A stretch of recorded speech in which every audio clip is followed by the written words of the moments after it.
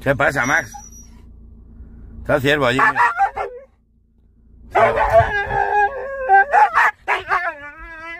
¿Ves? Este es el instinto cazador de, de Max.